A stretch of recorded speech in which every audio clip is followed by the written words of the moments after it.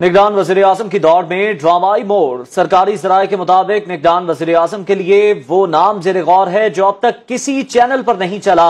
नाम भी ऐसा है जो सबके दरमियान है। वो शख्सियत नहीं, जो पहले ही आला पर फाइज है। आपको अपडेट कर रहे हैं कि निगरान वज़ीर आज़म की दौड़ में ड्रामाई मोड़ सामने आया है। सरकारी जराये के मुताबिक निगरान वज़ीर आज़म के लिए वो नाम जेर गौर है, जो अब तक किसी चैनल पर नहीं चला। इसी पर बात करेंगे, हमारे साथ मौजूद है हमारे नुमाइंदे शहरियार खान। शहरियार, आखिर कौन सा नाम है वो?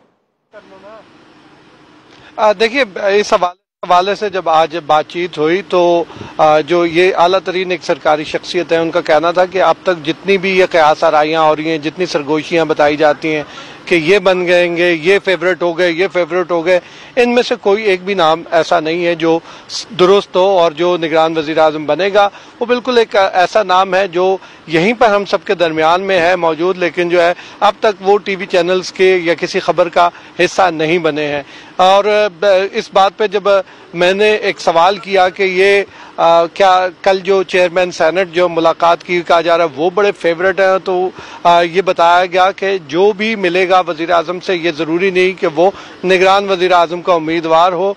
वो बिल्कुल इसमें दौड़ में शामिल नहीं है और बिल्कुल एक ऐसा नया नाम होगा जो सबको हैरान कर देगा। और गालबन आज यही जो थी हैरानी इसको बांटने के लिए वज़ीर अजम ने ये इतिहादी जमातों का इजलास बुलाया था और इशाइया दिया गया।